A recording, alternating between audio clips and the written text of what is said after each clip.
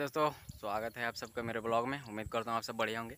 जितना भी दिखाई दे रहा है, सब पूरा धान का खेती है और हमारे इधर ही धान मतलब पूरा खेती धान ही का होता है और धान, गेहूँ बस और कुछ नहीं लगाया जाता इधर।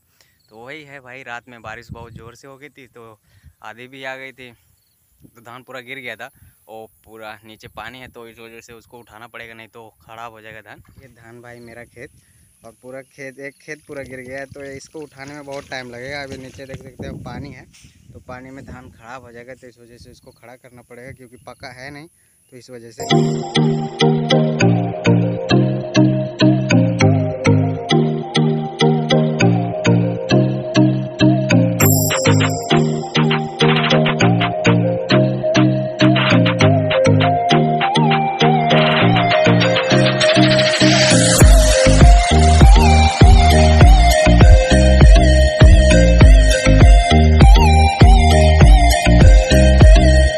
पत्ते से मुझे बांधना नहीं आ रहा है यार, वो पकड़ में नहीं आ रहा है। ना ये जो धान है, इसी का डंठा है, वो पहले वाला उसी को लेके आएँगे, काट के उसी से बांधेंगे तो शायद बना जाएगा। अभी पत्ते से मैं बाँध नहीं पा रहा हूँ ये सब। सुबह नौ बजे से बाँध रहे हैं, अभी इतना हुआ, अभी उतना बाकी है।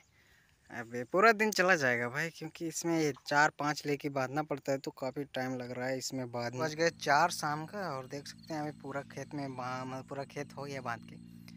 कैसा हो गया, अभी पूरा लेट गया था, अभी पूरा खड़ा हो गया। तीन चार एक में बाँध दिए हैं। तो वही है भाई, अभी पका नहीं है, पक जाएगा तो इसको काटेंगे मशीन से।